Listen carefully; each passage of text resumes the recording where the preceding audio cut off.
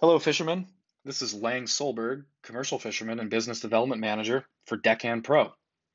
We're going to show you how to start an EVTR using Deckhand Pro on the iPad.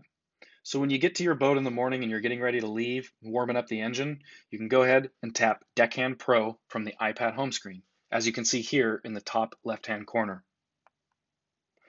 When you open Deckhand Pro, you'll be brought to a home screen looking like this one.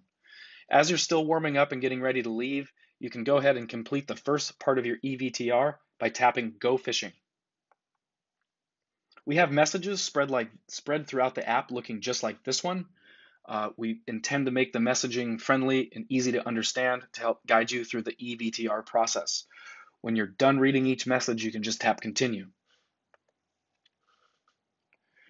This is the trip details section of the EVTR. You can see that the operator, vessel, and trip type are all remembered from previous trips, so you don't have to enter them every time.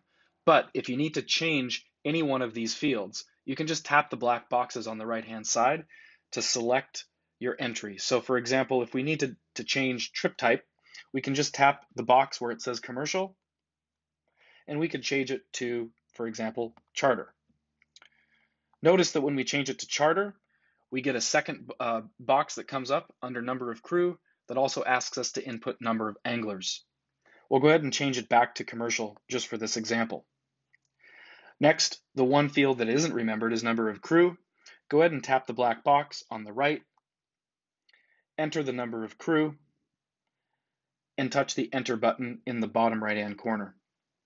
Season start date is something you don't have to necessarily enter. It's for your own use later on when you look at your catch analytics with Deckhand for your own personal sake. But uh, for this example, I think we'll just go ahead and leave it where it is for now. And that is how you fill out the trip details section of an EVTR. We'll tap continue and we'll stop the video here, pick it up where we left off on the next one when we discuss how to actively fish using Deckhand Pro. Thanks for joining us and thanks so much for fishing with Deckhand Pro.